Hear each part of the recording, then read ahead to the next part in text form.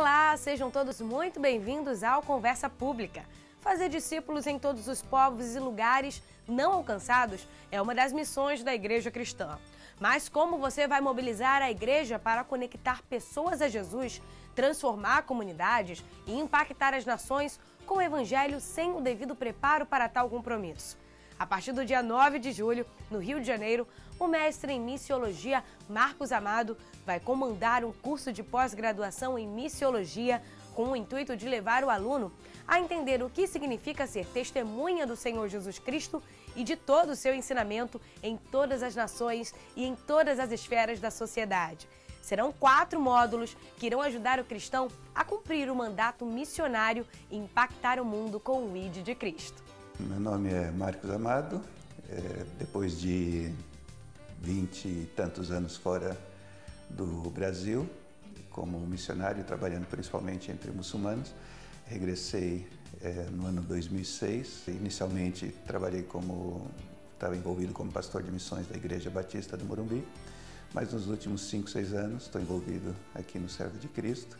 juntamente com outro projeto que se chama Centro de Reflexão Missiológica Martureu, e o objetivo é estarmos é, influenciando uma nova geração de líderes em relação ao que significa é, para o cristão estar envolvido em missões, considerando que estamos no século XXI e levando em conta as características do mundo em que vivemos. Servo de Cristo é um seminário de pós-graduação então, são oferecidos cursos de pós-graduação em mestrado, em teologia, em liderança cristã, em missões. E, além disso, temos também cursos é, intensivos de um ano, dividido em quatro módulos diferentes. Depois falaremos um pouco mais sobre isso.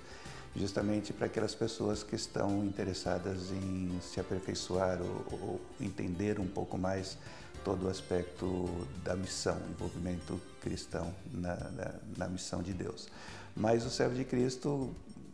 tem sido, nos últimos anos, um, uma das principais referências no que tange mestrado em divindade, mestrado em liderança cristã e agora também estamos oferecendo um mestrado em estudos interculturais que serve tanto para aqueles que vão estar envolvidos em algum ministério missionário aqui no Brasil, como para aqueles que estão considerando um envolvimento em outras partes do mundo. Então tem sido um grande desafio, mas ao mesmo tempo um grande privilégio poder investir na vida de tantos jovens que, que estão aqui no Servo de Cristo. Nós começamos há alguns anos oferecendo esse curso aqui no Servo de Cristo e agora outras partes do Brasil, uh, outras igrejas e, e, instituições de outras partes do Brasil têm mostrado interesse. E justamente vai nessa linha do que eu já mencionei, porque uma das coisas que eu percebi quando eu voltei para o Brasil há cerca de 2006, 12 anos já, era que o mundo tinha é, mudado nos vinte e tantos anos que nós ficamos fora, trabalhando principalmente com muçulmanos,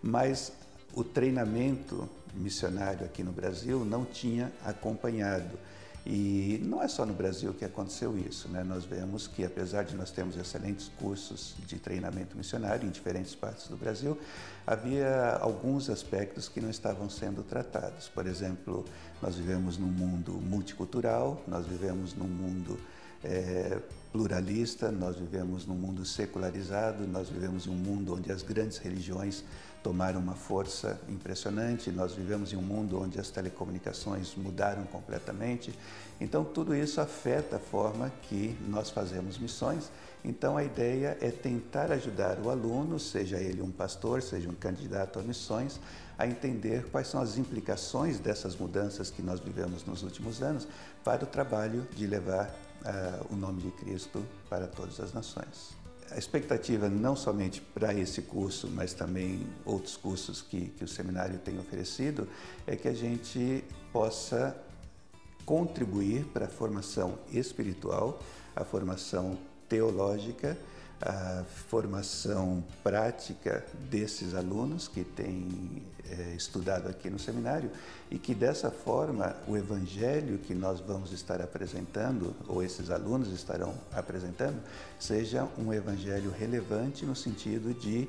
é, transformar vidas, que seja um evangelho. Eu sempre tenho dito nas minhas aulas que como brasileiros, nós sempre estamos dizendo que Jesus é a resposta. E nós estamos convictos disso mesmo, que Jesus é a resposta para qualquer aspecto da nossa vida. Porém, nós temos que entender e fazer a seguinte consideração: quais são as perguntas para as quais Jesus é a resposta? Ah, no passado, Jesus também era a resposta, mas o contexto era diferente e, portanto, as perguntas eram diferentes. Então, nós corremos o risco de estar dando respostas para perguntas que não estão sendo feitas. Então, nós gastamos aí quatro módulos de uma semana cada um, tentando ajudar o aluno a entender ah, as características do mundo em que vivemos e quais são as respostas que a Bíblia dá para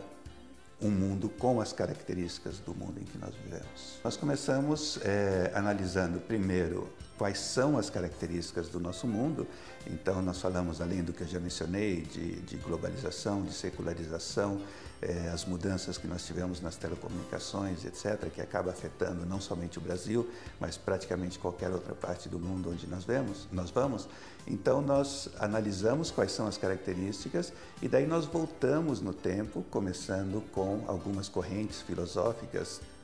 tanto a partir de Sócrates como algumas delas antes de Sócrates e vamos caminhando até os é, filósofos e pensadores da Idade Média, como também aqueles pensadores daquilo que nós chamamos de modernidade e depois pós-modernidade, e de que maneira esses pensadores acabaram influenciando o mundo em que nós vivemos e muitas vezes as pessoas estão pensando de uma determinada forma, como resultado das ideias de um pensador da Idade Média, ou da modernidade, ou da pós-modernidade, e nós não sabemos que a influência vem daí. Então, nós tentamos abrir os olhos dos alunos para que eles possam entender de que maneira essas ideias influenciam a mente daqueles com as quais nós estamos lidando e sabendo que essas são as características, essas são as ideias que influenciaram o mundo de hoje, nós então começamos a ver o que, que a Bíblia tem a dizer acerca dessas ideias que acabam influenciando o comportamento, comportamento, convicções e a maneira que as pessoas atuam. Então, é, é tentar ajudar a nos posicionarmos antes de falarmos, bom, Jesus é a resposta, que realmente Jesus é a resposta, nós vamos tentar entender quais são as perguntas para as quais Jesus é a resposta. Depois de nós darmos esse primeiro módulo, tentando ajudar o aluno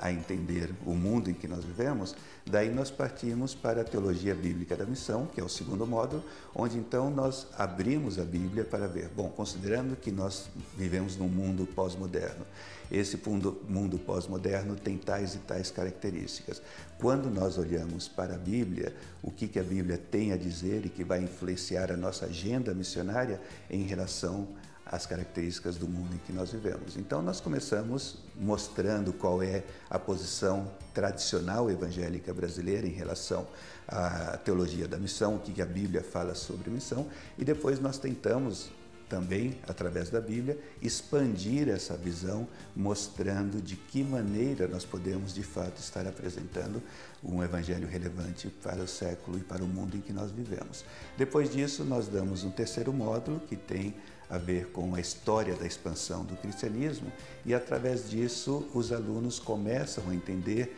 através dos séculos de que maneira nós cristãos tentamos é, dar uma resposta e mostrar Cristo como a resposta de acordo com os diferentes momentos históricos e os contextos que essas pessoas estavam vivendo. E depois, no quarto módulo, é, mais focado na área de antropologia, onde nós falamos sobre adaptação transcultural, nós falamos sobre choque cultural, nós falamos sobre contextualização, ajudando aquele que vai trabalhar no Brasil, seja em diferentes áreas da sociedade, ou que vão para o Oriente Médio, para a África e para a Ásia, a entenderem a importância desse processo de fazer bem essa contextualização, essa adaptação, seja lá qual for a área da sociedade ou do mundo em que nós estivermos trabalhando. Nós temos oferecido módulos optativos como, por exemplo, é, fenomenologia da religião, nós temos oferecido módulos em relação a entendendo o, melhor o budismo, nós estamos oferecendo módulos e cursos é, sobre o Islã, que é uma das, um dos grandes desafios que nós temos hoje, se nós vamos ver a grande comissão realmente sendo é, realizada né, e terminada por nós cristãos. Então, à medida que o aluno vai fazendo os diferentes módulos obrigatórios, ele vai entendendo melhor de que maneira Deus está encaminhando e que, que Deus tem colocado no coração dele, e aí ele vai fazendo as decisões sobre quais são os módulos optativos que ele gostaria de estar é, envolvido. E para isso nós trazemos professores especialistas de diferentes lugares, tanto do Brasil como de outras partes do mundo. Durante muito tempo nós falamos sobre povos não alcançados. E esses povos não alcançados continuam existindo na África, na Ásia, no Oriente Médio, o desafio continua existindo.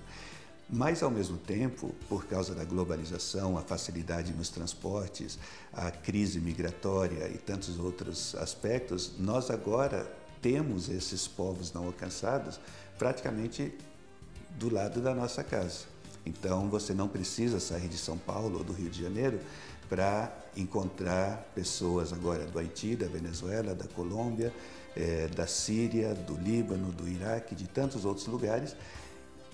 E muitos estão vindo da Ásia também. Então, não a importância de entender melhor sobre o islamismo, a importância de entender melhor sobre o budismo e, eventualmente, queremos oferecer cursos sobre o hinduísmo também, não é somente para aqueles que vão para o outro lado do mundo. Nós, se vamos cumprir a missão que Deus entregou nas nossas mãos, precisamos estar preparados para falar com o budista, com o hindu e com o muçulmano que está aqui ao nosso lado e que é o nosso vizinho. E, infelizmente, pelo fato de nós termos uma ideia muito equivocada sobre essas pessoas, nós acabamos tendo uma atitude negativa em relação aos seguidores dessas religiões e não conseguimos verdadeiramente testemunhar de Cristo para eles. O impacto negativo de enviarmos missionários mal preparados acaba sendo muito grande, porque quando o missionário, seja ele solteiro ou casado, chega no campo, ele não está preparado. Primeiro, ele não tem uma ideia adequada da história daquela é, região, ele não tem uma compreensão adequada sobre a religião com a qual ah, ele vai estar trabalhando, a religião que as pessoas daquela, daquela parte do mundo seguem. Ele não está bem preparado para fazer um, um bom processo de contextualização tanto dele como missionário ou missionária, como da mensagem que será pregada, ele não está bem preparado para uh, um bom aprendizado do idioma, num nível em que ele vai poder pregar o Evangelho de uma maneira clara, no idioma do coração daquelas pessoas. Isso faz com que ele entre num processo de choque cultural não consiga sair desse processo de choque cultural e isso leva a um desgaste emocional pessoal, afeta a relação com a família, afeta o relacionamento com aqueles que estão ao seu redor e no final das contas, em cinco, seis anos, às vezes até menos, a pessoa já não está em condições de continuar servindo naquele lugar pelo fato de que não de não ter sabido como se adaptar adequadamente aquela, aquele país e de como lidar com as pessoas daquela região. E existe um problema maior. Nós brasileiros temos a tendência de ser ufanistas. Então nós achamos que nós vamos e vamos resolver o problema da evangelização mundial. E eu creio que a igreja brasileira realmente tem muito a contribuir para a evangelização mundial. Mas isso só vai realmente acontecer com todo o seu potencial se nós estivermos uh, ou formos capazes de enviar missionários bem preparados que vão fazer um impacto nas regiões do mundo para onde eles estão indo. Nós temos falado aqui no Servo de Cristo que nosso curso, uh, o curso que nós oferecemos de missões, de missões, tem o objetivo de ajudar o cristão brasileiro a entender que fazer missões significa ser testemunha do Senhor Jesus e de todo o seu ensinamento em todo o mundo e em todas as esferas da sociedade. Então nós precisamos tirar da nossa mente aquela ideia de que fazer missões é somente para aqueles que estão indo para o outro lado do mundo ou que têm um chamado específico para uma determinada região ou religião, eh, seja na Ásia, na África ou em outras partes do mundo. O cristão brasileiro, seja ele um líder ou não, ele precisa ser testemunha do Senhor Jesus Cristo no seu emprego, na sua família, no seu trabalho. E eu até acredito que a situação do nosso país, tão complexa como está hoje, com 40 milhões de evangélicos, se nós realmente tivéssemos a ideia de que nós precisamos ser testemunha em todas as esferas da sociedade, a situação do nosso país, eticamente falando, moralmente falando, seria diferente. Creio que um dos maiores desafios, não só no Brasil, a igreja no Brasil, mas como em outras partes do mundo, a igreja tem a tendência de ficar em si mesmada. A igreja acaba correndo o risco de existir para satisfazer os desejos e necessidades daqueles que já estão dentro da igreja, e isso consome tanto tempo, tanta energia, tantos recursos financeiros, que a igreja acaba não tendo visão para investir fora desse nosso círculo habitual. Então, esse esse perigo de nós estarmos olhando só para dentro é muito grande, já está acontecendo. Eu diria que a maior parte das igrejas brasileiras não tem essa visão de estar levando o evangelho até os confins da terra e, portanto, existe o grande risco de sermos um, um grande clube com pessoas felizes, mas que não estão preocupadas com aqueles que estão morrendo sem ter escutado sequer uma vez acerca de Jesus Cristo. A minha impressão é que a igreja brasileira é mais facilmente convencida a se engajar em missões nacionais do que em missões transculturais. E muitas vezes, apesar de já estarmos falando de missões transculturais há pelo menos 30 anos, ainda é muito comum escutar pastores dizendo: não, nós temos que cuidar primeiro da nossa Jerusalém e depois nós vamos cuidar dos outros passos até os confins da terra. Mas nós precisamos entender que quando Jesus disse isso no livro de Atos, Jesus não estava dizendo que nós precisaríamos terminar o trabalho na nossa Jerusalém para depois pensar nos próximos desafios. Nós temos que pensar na nossa Jerusalém, Judéia, Samaria e até os confins da terra ao mesmo tempo, porque Deus tem chamado pessoas para trabalhar nessas diferentes esferas. Então nós não podemos pensar que o que Jesus nos disse era terminem o trabalho na sua Jerusalém e depois pensem nos outros desafios. Se nós formos pensar dessa maneira, a grande comissão nunca vai ser cumprida. Nós temos investido muito é, nessa associação entre Servo de Cristo e o Centro de Reflexão Missiológica Martureu. Na página web do Martureu, nós temos já dezenas de artigos focando em aspectos da missão no século XXI, tanto na missão é, dentro do nosso próprio país, como os desafios transculturais que nós temos. Então, é um bom lugar para nós começarmos. E, recentemente, nós lançamos, nos últimos três anos, nós lançamos três livros em associação Servo de Cristo, Martureu e a editora Ultimato. E o primeiro foi do Leslie Newbigin, que é um grande foi um grande missiólogo, é, teólogo e filósofo europeu, cristão, e ele fala sobre o que significa pregar o evangelho num mundo pluralista. Então é um livro excelente que é um autor muito reconhecido lá fora, mas que nós ainda não tínhamos nenhum livro dele aqui é, no Brasil. Depois lançamos um livro sobre a quem pertence a Terra Prometida, que trata de um assunto bastante polêmico, porque nós, cristãos brasileiros, costumamos ter apenas eh, olhar de uma determinada perspectiva e esse livro tenta abrir um pouco e nos ajudar a entender, como cristãos, qual deve ser o nosso papel nesse conflito entre árabes, palestinos e judeus e como isso tem afetado o trabalho da igreja no Oriente Médio. E agora, a questão, creio que há dois meses, nós lançamos um livro sobre o budismo, com um dos cristãos que é um dos maiores especialistas sobre o assunto no mundo, reconhecido em todas as partes, que nos ajuda a entender também de que maneira a filosofia budista tem penetrado nos corações e mentes do ocidental em geral, da pessoa que mora no Ocidente, mas também acaba influenciando, inclusive, a nossa teologia, porque a filosofia deles tem penetrado nos nossos corações e mentes. Então, tem esses artigos que podem ser encontrados no site do Martureu e tem esses livros que nós acabamos de lançar e que valem a pena dar, é, que cada, cada cristão dê uma olhada e considere seriamente é, ler pelo menos alguns desses livros. Eu acho que muitas vezes passa na mente do, da, das pessoas, não, isso vai ser muito complicado, eu não tenho tempo,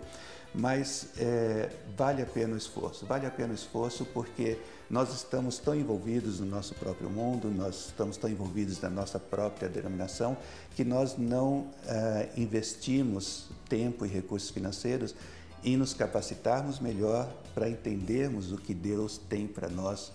no século 21 e quais são os desafios que nós precisamos, como cristãos, enfrentar para de fato sermos testemunhas de Jesus em todo o mundo e em todas as esferas da sociedade. Então, apesar de ser um, deve haver um compromisso e é um, um desafio realmente você voltar a estudar, você voltar a pegar um livro, escrever uma monografia, é um processo muito gratificante e as centenas de alunos que já passaram por aqui nós temos visto o impacto que eles estão realizando, tanto nas suas igrejas, como nos seus trabalhos, como aqueles que já foram para a Ásia, para a África, para o Oriente Médio e outras partes do mundo. Então, é um esforço que vale a pena e eu tenho certeza que o nome de Jesus vai ser glorificado através desse esforço. O Conversa Pública de hoje fica por aqui. Obrigada pela sua companhia e até a nossa próxima edição.